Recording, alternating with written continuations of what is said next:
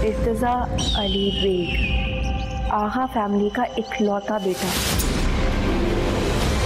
इस बार कुदरत ने तुम लोगों को मुकम्मल प्लानिंग के साथ मिलाया। सभी मेरी ज़िंदगी में ना आई ना आई जाए तो मेरी ज़िंदगी में एक बहुत बड़ी कमी रह जाएगी।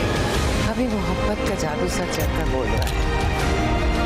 अच्छे निशाने के लिए नज़र और अक्ल बहुत ज़रूरी है।